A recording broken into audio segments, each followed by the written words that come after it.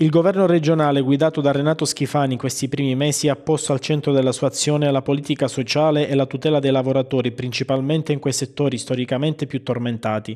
Nei giorni scorsi, su convocazione dell'assessore all'agricoltura Luca San Martino, si è tenuto un incontro presieduto dallo stesso assessore a cui hanno partecipato il capo di gabinetto Giovanni Cucchiara e il dirigente generale dello stesso assessorato Mario Candore.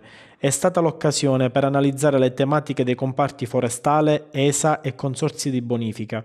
Nel corso dell'incontro è stata ribadita la disponibilità dell'assessore a rendere costante il confronto con le organizzazioni sindacali di comparto. San Martino inoltre ha annunciato la propria intenzione di istituzionalizzare un tavolo permanente esteso a tutte le organizzazioni di rappresentanza sindacale del settore. L'assessore ha reso noto a tutti i presenti le risorse inserite nella legge di stabilità finanziaria, circa 248 milioni di euro, in favore di tutti i lavoratori forestali interessati al processo di salvaguardia del patrimonio boschivo regionale per l'anno 2023. L'assessore infine ha anche ipotizzato una riforma organica del comparto forestale da sottoporre entro il prossimo semestre all'Assemblea regionale siciliana. Sarà un testo coordinato frutto del contributo delle parti sociali con le quali la relazione sarà continua.